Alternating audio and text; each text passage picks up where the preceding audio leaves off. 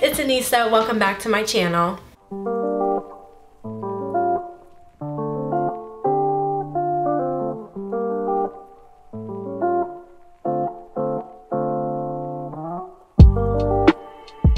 I am super, super excited for today's video because we are going to be starting a new series on this channel among the many that we already have, but the more the merrier. We are going to be starting a series called Shop My Stash. If you guys have never seen these videos on YouTube, and honestly, I've never watched one, but I got this concept off of Instagram as of recently, I have started shopping my stash every week, which means I rotate my products because as you guys know, I am a creature of habit. So what I'll do every week is I will go over to my little makeup bin section that you guys will see in a minute, and I will pick a full face of products out and I will uh, throw it in this bin and I'll use all those products all week. And then I will rotate every other week. So I was like, oh my gosh, how fun would it be to do that for a video once or twice a month, however many times you guys want to see it.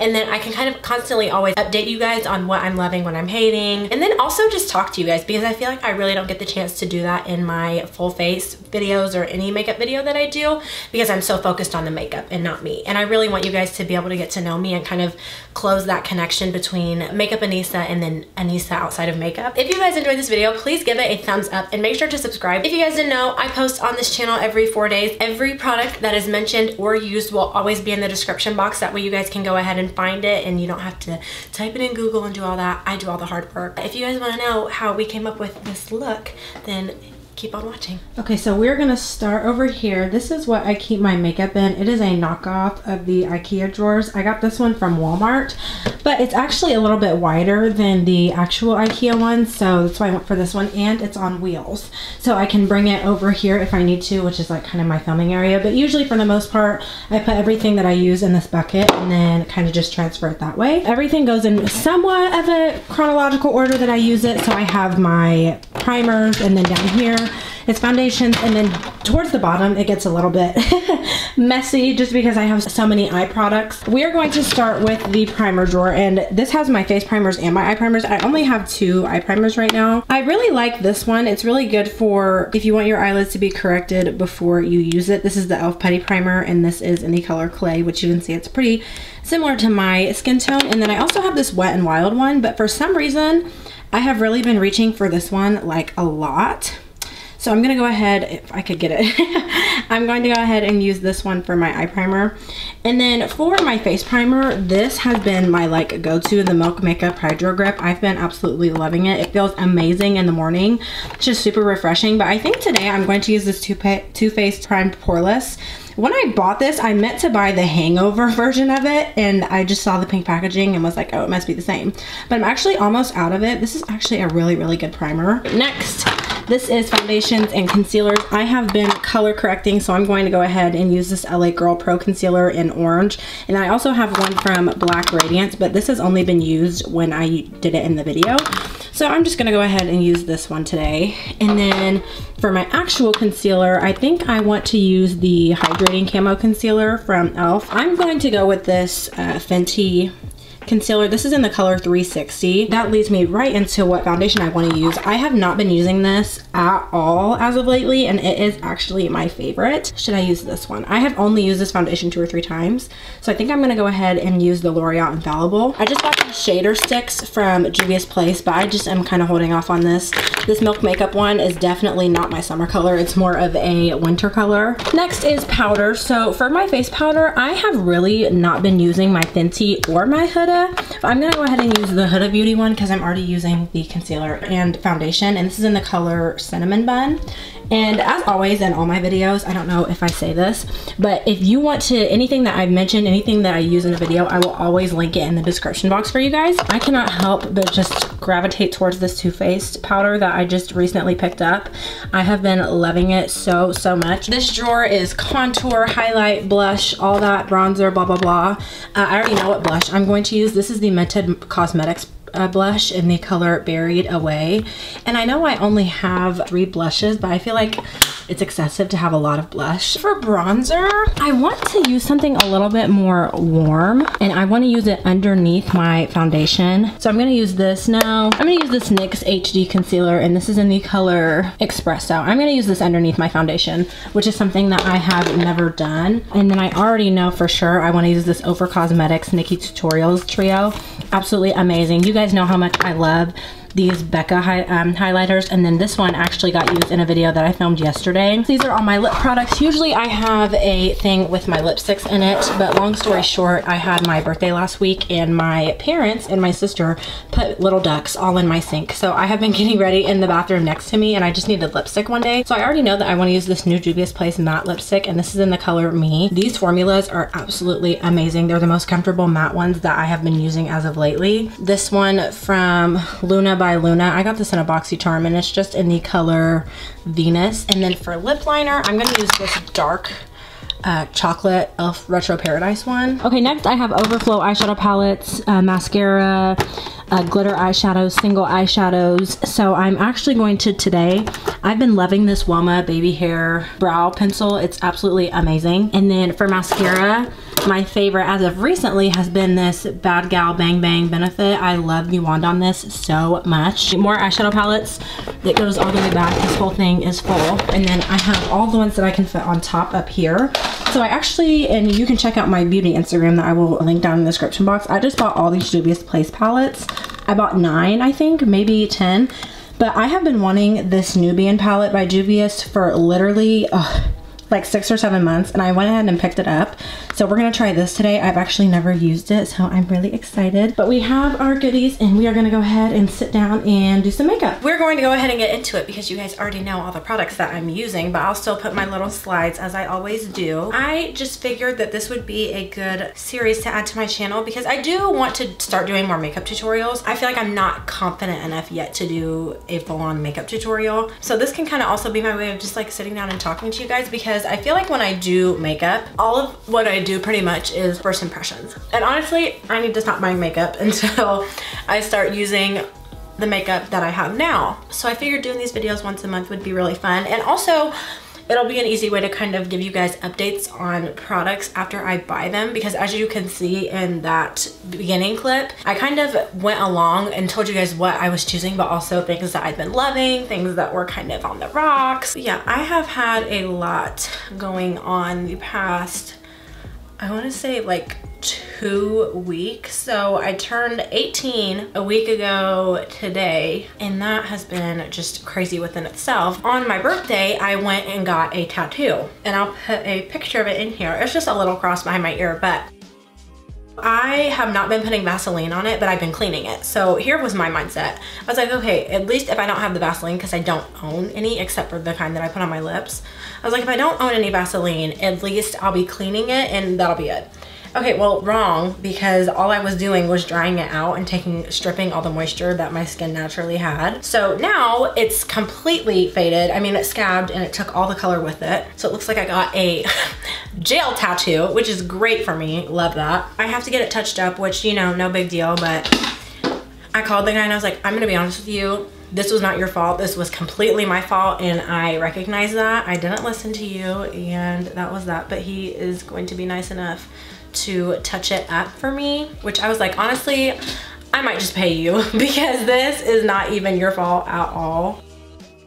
I've been working a lot this week, like a lot, a lot. After tomorrow, I will have clocked in 48 hours this week. But anyways, um, you're probably looking at me and being like, Anissa, you've never done this technique before. I know. I think until I am confident enough in my blending abilities as far as contour, I'm gonna do it underneath. That way I still have something. Oh, and now I'm throwing things. That way I have something underneath to kind of contour. And I really like the way that it's going on on my natural skin. I don't have anything else going on right now. Also, my hair straight, as you can probably see, actually getting washed tonight. So that's why I was like, you know what, I'm gonna film this video. Now I can at least have some videos with straight hair. I got my hair straightened for my birthday. I have my last round of senior pictures in three or four days. So what I'm going to do, my hair's been straight for too long. So how it was, I put my pictures and my birthday together. That way I could have my hair straight, but two weeks is too long to not wash it. I mean, this is exactly a week and a day and it needs to be washed. I haven't used a Real Technique sponge in forever because I've been loving my e.l.f. sponges, so I feel very weird right now. I have been trying to use my Beauty Blender because if you didn't watch my last empties video, you so should. You guys seem to love those videos. I said that I was getting rid of my Beauty Blender because I just wasn't reaching for it. You know, I thought to myself, I was like, I shop my stash every week. So the makeup that I put on my face, I rotate all my makeup because a lot of times I will forget about things that I love. And I was like, you know what? I'm done doing that. Like I want to remember what I love and use it. So I shop my stash every week. But I was like, you know what? As far as my brushes go, I mean, I really, I have two, four, six, I have six cups of brushes and I really reach for the same ones. I've used all them, but I was like, I really use the same sponges. I like that the sponge is bouncy. I would say even this Real Techniques one, but it's wet and it just feels very dry compared to my e.l.f. sponges that I feel like are just pillows on my face. I mean, these were my holy grail. I used to rotate through these and buy new ones every two months. As of recently, I have been doing a lot of high-end makeup and I've probably said this before in a recent video. I don't remember what I say. I just kind of say whatever. But I feel like as of recently, I have been doing a lot of high-end makeup. And drugstore makeup, I think for most people, they can say that that's where they kind of started, was in the drugstore. So I definitely want to go back to those roots and do a lot more drugstore stuff because it is so fun to just go in the drugstore and splurge and get a whole bunch of stuff for a reasonable price. But I also do want to say, I feel like sometimes I'm very critical of products and I feel like I'm very critical of high-end products because here's the thing. You go to the dollar store and you buy those dollar Apple chargers, you're not gonna expect for them to be as good as quality as the actual expensive Apple chargers. And I kind of feel the same way with high-end makeup. High-end makeup has no excuse to not perform well.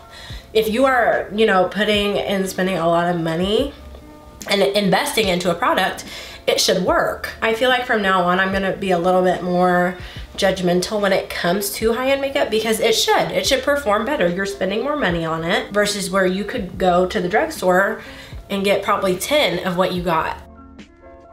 A little note, I haven't used that concealer in a while, but it actually dries down very fast. I mean, I'm sure me talking doesn't help, but just a little note. I mean, I've really been struggling, especially as of lately with Fenty, because I feel like I really loved and still do love a lot of their products. But I mean, for instance, so like that concealer, it's all right. I would be lying to you if I told you that I would rather grab that than the e.l.f. concealer or my Maybelline concealer, because I wouldn't. I just, I like those ones better.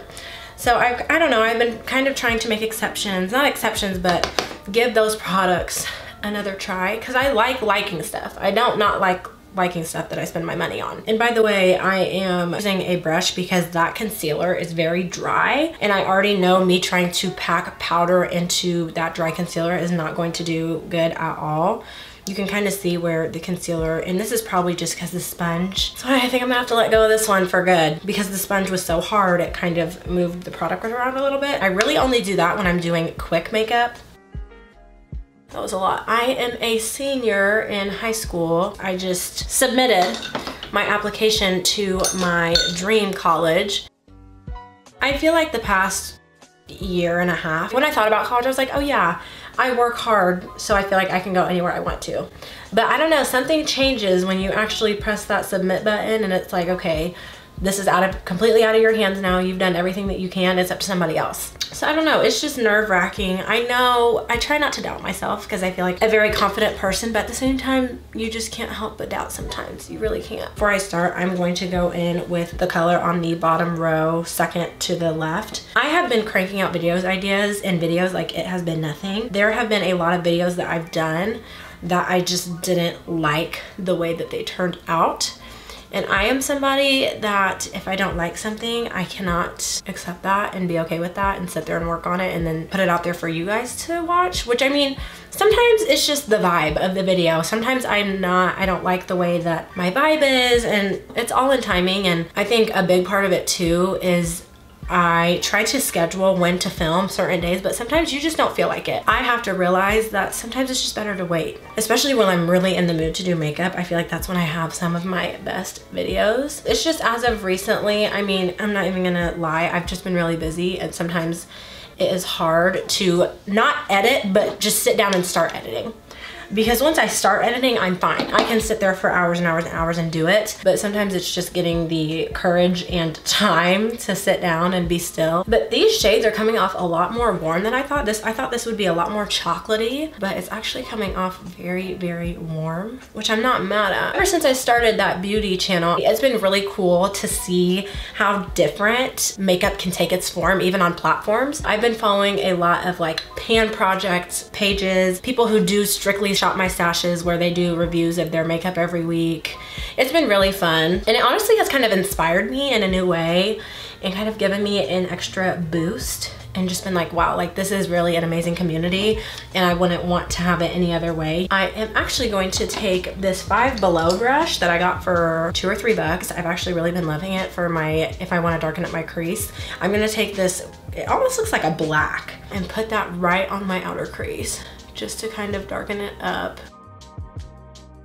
Like I said, I have been working a lot, but I do want to say I feel like everyone has been affected by what's going on a little bit differently. Pretty sure I've told you guys this, at least in my get to know me tag, because I feel like in my first impression videos, again, I really don't talk about myself. I really try to keep it with the makeup because that's what you guys are here to see. I am a certified home health aide. I want to go to school and get a bachelor's of science in nursing and then maybe go on to be a nurse practitioner. I absolutely love my job and I will tell anybody and everybody that. Although I do realize my job job is not for everybody. I am for my job. I will say though, I think I have been affected a little bit differently, especially than my friends. It's been kind of hard because I feel like I really don't have anybody to relate to that's my age. When this started happening, probably in March and we got pulled out of school, I was working pretty much every day, eight hour shifts, sometimes 12s because we needed the extra help. I mean, you have to think these people, older people, they, we weren't letting them leave their rooms. They couldn't see their families. I think some people fail to realize that it's not over. We're trying to adapt and kind of shape it into our lives versus stopping everything that's happening. I'm sure people have their own opinions on that within itself. I'm going to take this absolutely gorgeous gold color and I'm gonna put that on my lid. I feel like when this all kind of started happening, I felt really bad. I really didn't do much. The only thing that changed was that I wasn't going out to eat and like doing stuff out in public. The only people I saw were my boyfriend and my family. It was hard because, you know, sometimes you complain about having, you know, an annoying sister or an annoying brother and blah, blah, blah. And, you know, you don't mean it. You don't realize the impact that your words have behind them. Then it's like, you know, these people are here and they're all by themselves and they can't see their families and they don't get to go home and, you know, complain about the TV being too loud. I wouldn't say I became depressed, but I definitely was mentally affected 100%. It was really, really hard. I was at work all day with all these people who I mean were like begging us please like let us out of our rooms please. And we're like you know we can't and we're not doing this because we hate you or it's not anything personal. We're doing this because we love you and we want you to be okay. Thankfully my building during this whole time was covid negative the whole time and I really do contribute that to us being so strict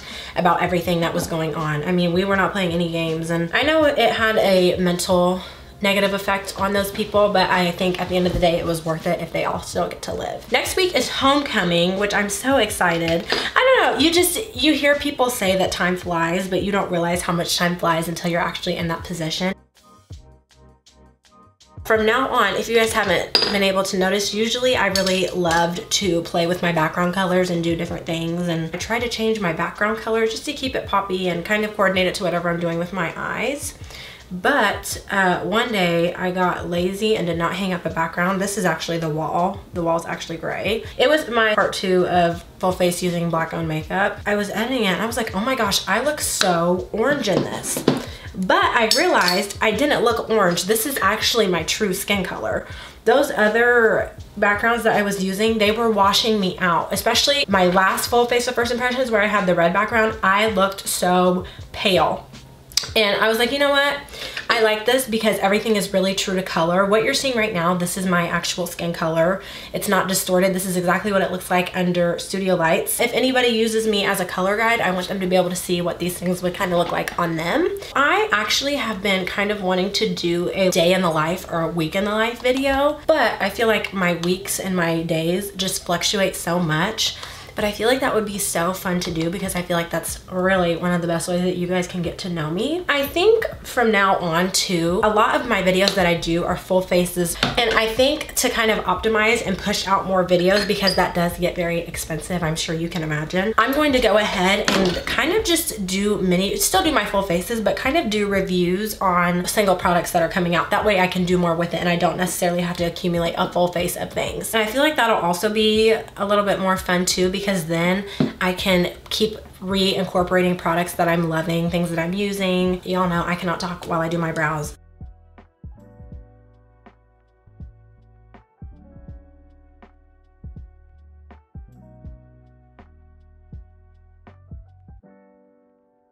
I know I already said this, but I have absolutely been freaking loving this. I like this better than the Anastasia, my dip brow and my pencil. It's just super, super tiny but the color is also spot on with what my actual hair is or that look that I'm going for. I feel like when you buy a black pencil, it can tend to come off really, really black, almost like blue black, like you have tattooed eyebrows on.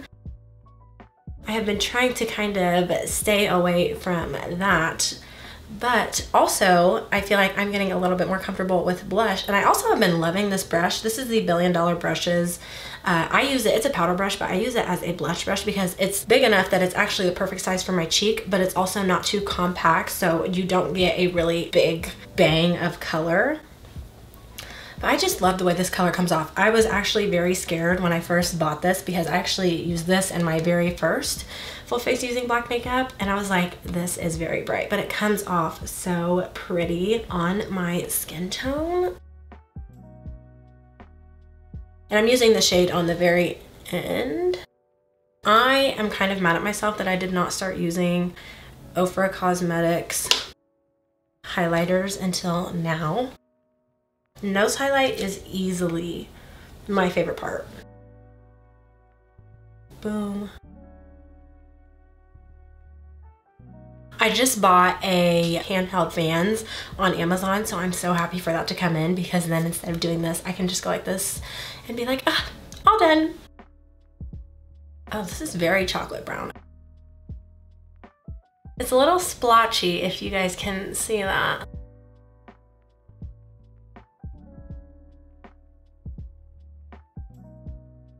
This is a good combo. I didn't realize how dark this was.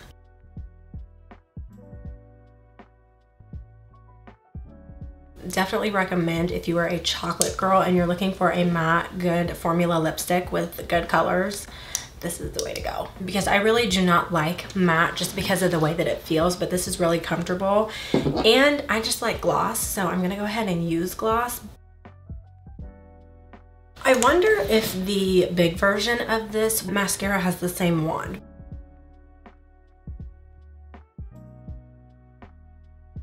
Yeah, it makes it super easy for me to really get in there, but also not hit my skin, which is my biggest pet peeve in life. This is what we came up with shopping my stash today. If you guys like these videos, please let me know because I actually had so much fun filming this. I feel like it was kind of me just sitting down and doing my makeup on any other regular day. If you guys have any video suggestions, recommendations, anything you want to see specifically, please let me know down in the comments. I'm so, so open to suggestions and hearing what you guys want to see. Thank you guys so much for watching and I will see you in a couple days. Bye.